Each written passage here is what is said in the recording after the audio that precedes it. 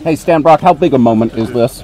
Well, for me, it's the beginning of the possibility, or should I say the probability, of us being able to deliver emergency medicine to our operations in the Amazon and in Africa and in Haiti. And right here in the United States. Uh, well, of course, 90% of what we do is here in the United States.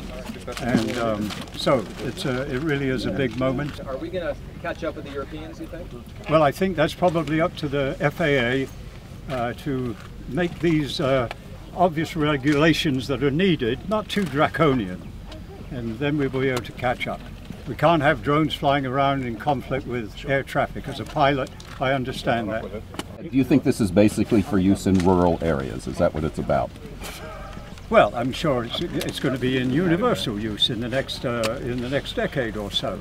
But as far as our concept here is the delivery, imagine a couple living uh, perhaps 10 miles away from here, and uh, and my colleague Teresa understands this. Yeah. That there are old people that can't get out of their homes, that don't have a car that works.